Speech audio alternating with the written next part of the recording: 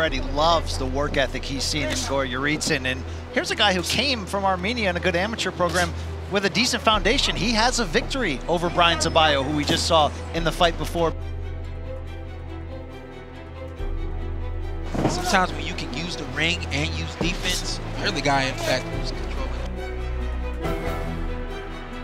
Montes is strong, man. He's, he's eating these punches and he's continuing to come forward.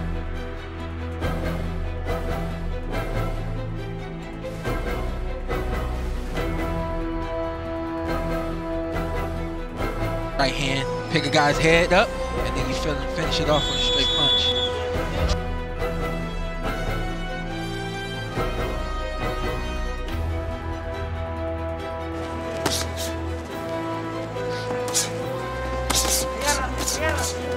Stop, stop, stop, stop, stop.